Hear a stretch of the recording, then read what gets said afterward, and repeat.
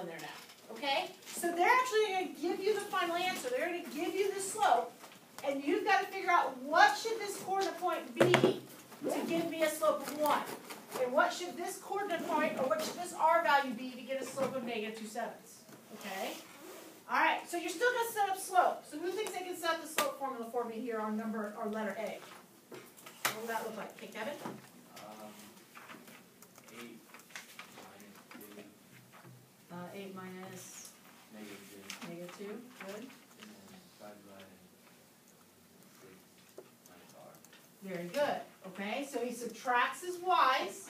Okay, again, doesn't matter, if you wanna start with negative two and do negative two minus eight, that's fine. And then r minus six, that's okay, okay? And what we're gonna do now is we're gonna set it equal to the slope. Quentin, we're just working on our notes from, um, Friday, okay? We're finishing them off right now. Just sit right there, that's good. Okay, so then we're gonna have a slope of one. Okay, so now, how would I put one as a fraction? One over one, very good. So I'm gonna set everything up as a fraction. Okay? Now, if we can clean stuff up, let's clean it up. So what is negative eight minus negative two? Huh? Yeah, did, I just didn't hear you. So plus, and then Caitlin says ten, which is right. So I have ten over six minus r equals one over one. Okay? Alright, now, what do we do when we have a fraction equaling a fraction? How do we solve that? Good, really good. All right, so we're gonna cross multiply, and we're gonna take the ten times the one, and then we're gonna take the six minus r times the one. Okay? Well, ten one, that's pretty simple stuff there. We should get ten equals. Now, we know that one times anything will be itself, okay? However, if this was a different number, like a two or a three or a four, something like that, we would technically need to distribute it, okay?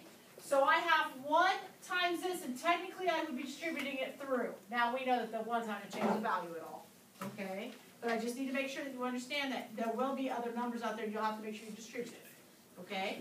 So I've got ten equals six minus r. Alright, so now we need to solve this equation, okay? So what would I do first, Guadalupe? Good, subtract the six. Alright, so ten minus six is four equals what? Negative r, very good. Now, we just talked about this of class. How do we get rid of that negative, Caitlin?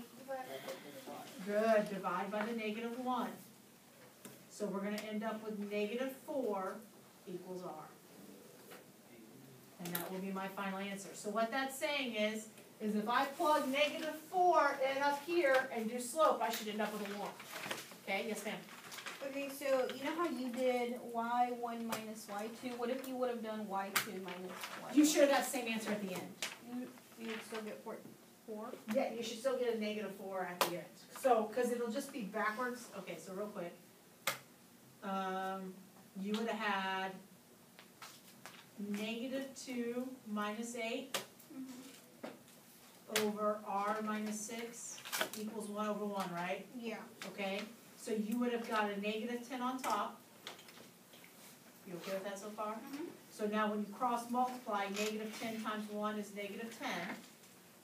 And one times the r minus six is just r minus six. Are you okay with all that? So now add the six, Okay. and then we're still getting the negative four. So it doesn't matter what order, just as long as we keep it all lined up. Okay?